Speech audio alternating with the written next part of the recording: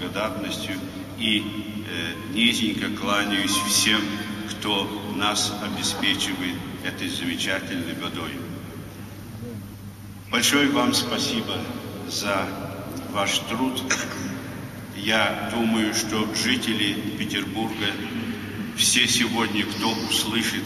о празднике, о 150-летнем юбилее вашего бытия, вашего, вашего, вашего источника водного э, в Петербурге, я думаю, все сегодня снимут шляпу перед вами, поклонятся вам и скажут вам сердечное и большое спасибо. Всем вашим сотрудникам сердечная благодарность за этот нелегкий труд, потому что вода не только в стакане приобретает значение, и она имеет свой норовый характер, она может где-то в водопроводе, где-то там что-то не туда пойти, какая-то труба может подвести, поржаветь и пропустить воду, и потом эта вода в ненужном месте совершенно появится, или наоборот придут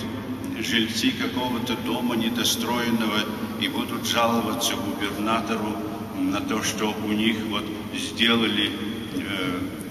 отопление, но не подключили или не закрыли трубы.